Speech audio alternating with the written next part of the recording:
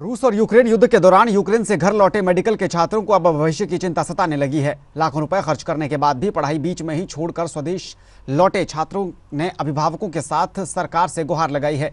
इनका कहना है कि यूक्रेन में हुए खर्च में ही देश में उनकी पढ़ाई पूरी करवाई जाए। इस दौरान अभिभावकों ने पूर्व छात्र नेताओं के साथ विचार विमर्श करते हुए फैसला लिया है कि गुजरात के राज्यपाल आचार्य देवव्रत के माध्यम से पीएम मोदी और राष्ट्रपति से इस मामले में समाधान करवाने की मांग की जाएगी।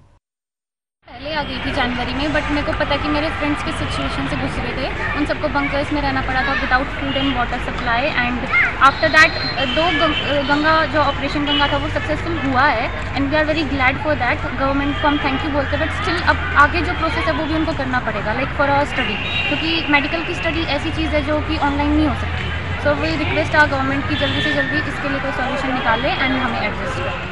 हुई है सभी पेरेंट्सों की, बच्चों के लिए। ये सिर्फ़ इसलिए हुई है ताकि इन बच्चों का भविष्य सुरक्षित रहे और ये जो बार बार बच्चे सारे बाहर जाते हैं या कम से कम पढ़ाई का सरकार से हम अनुरोध करते हैं कि फ़ीस, जायज़ फ़ीस करें जिससे बच्चे बाहर ना जाकर यहीं अपनी शिक्षा पूरी करें।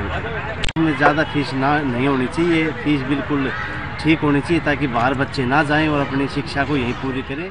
आज ये यूक्रेन के बच्चे दादरी के आसपास के पूरे डिस्ट्रिक्ट के ये बच्चे इकट्ठे थे पेरेंट्स के साथ। इन्होंने क्या नाम है मेरे को बुलाया था सांगवान साहब ने।